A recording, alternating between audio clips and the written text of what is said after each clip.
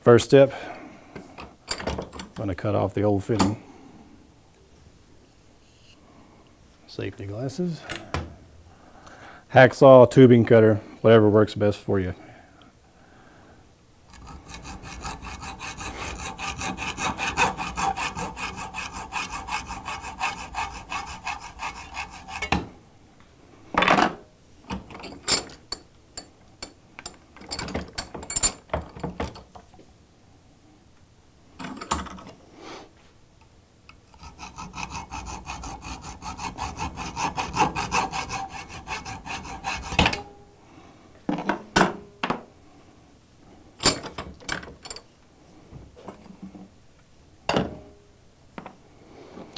All right, at this point, in this case, this hose has an O-ring and a flange seal, which we're going to take off. Because when we go to weld, you want to remove any kind of rubber O-rings that can't be replaced. So we're removing any old gasket material O-ring.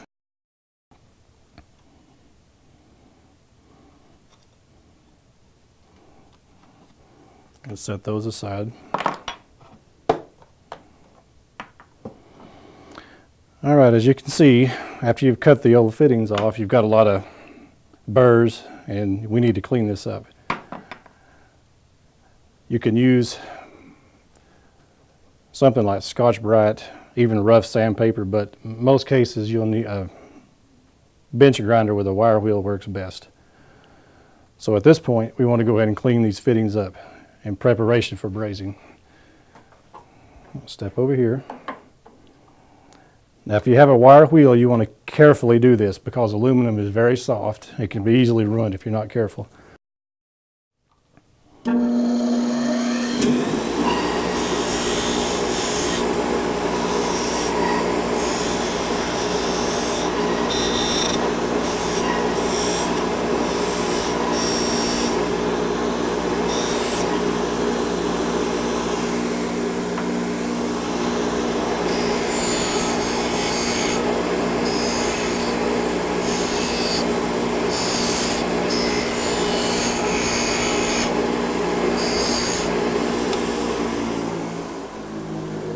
Again, using the wire buffer just gets most of the most of the slag and it gets the metal where we can do a better braze job on it.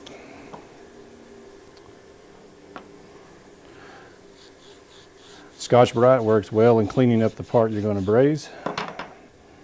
What you want to do is get your tube as clean and dry as possible. That's where your brake parts cleaner comes in handy. Um, for this case, we're just going to spray this cleaner in the fitting to ensure that we get all the refrigerant and any kind of grime, grease, or dirt out of there. And we'll do this. Pay attention not to lose your orientation marks because you're going to need that when you go to recrimp your new fittings.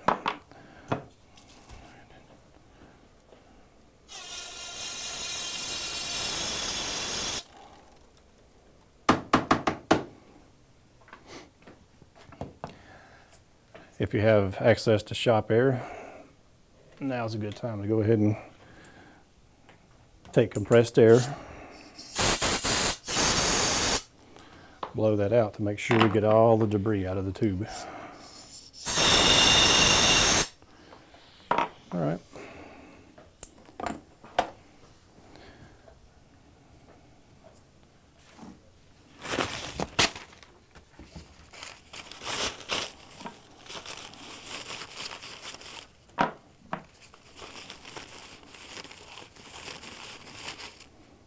All right.